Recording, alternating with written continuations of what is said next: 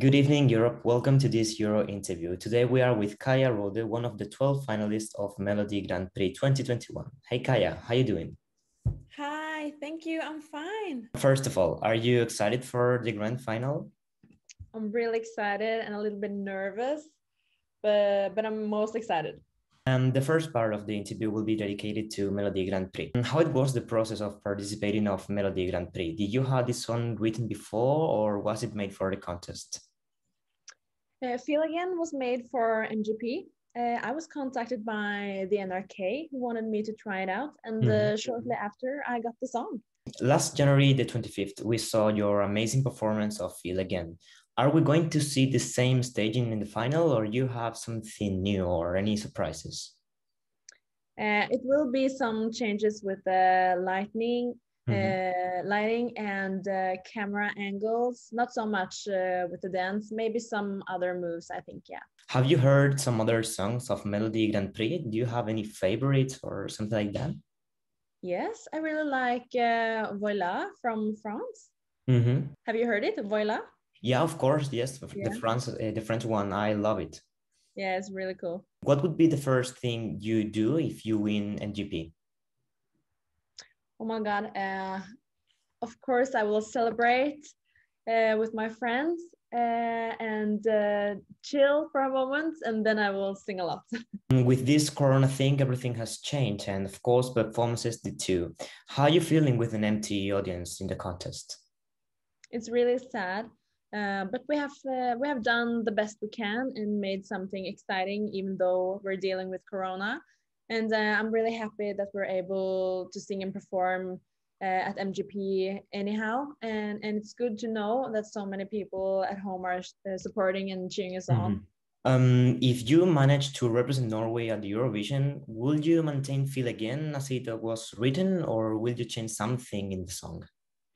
it depends if we're going to uh, Rotterdam, then I think we will do some changes. But uh, if it's not possible, we will uh, make a new uh, video from uh, a live performance that hasn't been shown in Norway and then send mm -hmm. it. last year, Ulrikke Brandstorp won the Melodi Grand Prix, but unfortunately, she couldn't perform on Rotterdam.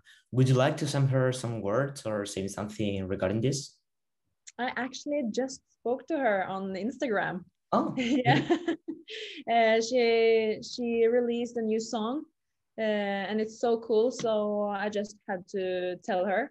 But yeah, I really love attention as well, and uh, can't wait to meet her tomorrow. Let's go about to the second part of the interview. More about to get to know you.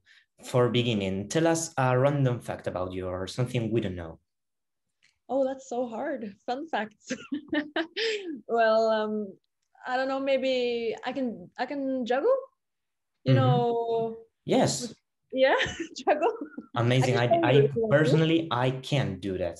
You can. I have uh, some fruits here. I can do. Oh yes, try. Let's go. I'll do my best. Okay, maybe now I'll fail because I said I can do it but uh, I've been practicing practicing since I was uh, a kid. and I think it's really fun. Can you do it? Uh, I can't. I haven't ability enough. Let's do it.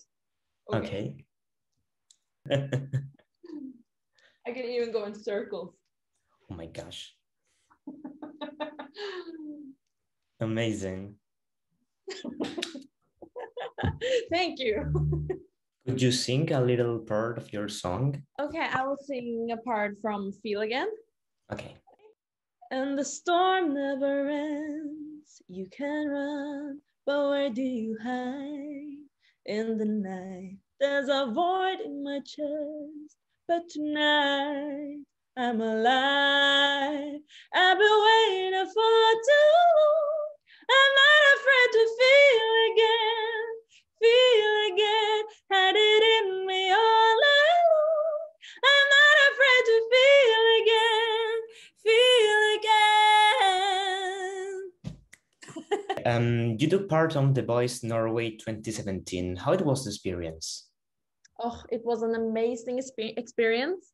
Uh, all four mentors uh, turned their chair on me. So crazy. Uh, and an honor, of course. Uh, and it absolutely made me want to sing uh, more. Do you watch the Eurovision every year? I watched it uh, several times, and I remember uh, Alexander Rybak won uh, with Fairy Tale in 2009. I was only 11 years old, I think. Uh, and actually, I joined his TikTok challenge yesterday. Uh, he's singing uh, Fairy Tale, if you have seen it on TikTok. Yes, yes, I saw it. I and, saw it. Uh, and he shared it on Instagram. So that was really cool. Which are your favorite song of the Eurovision? And your which one is your favorite from Norway? Uh, all over, I think, uh, Arcade from uh, 2009. Oh, lovely. Nine, nine, 2019, I, I mean, was uh, really, really good. And, and it still is.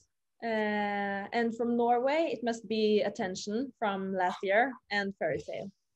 Attention yeah. was my winner last year. Yeah, Attention. Yes. Have you tried to represent Norway or have you thought to represent Norway at Eurovision in the past? No, actually not and I don't know why. I think I think I needed a kick in the butt, as we say in Norway. we hope you represent this Saturday in Norway because you personally are my favorite from this selection. Oh, thank you. That's so nice. Kaja Rode, thank you for this interview. Good luck on Saturday. I'm sure you're going to do an amazing performance of it again. Thank you so much. Uh, that's all for today. You can follow Kaja on Instagram and TikTok. Also, you can stream Feel Again on Spotify. All links are in the description below. See you.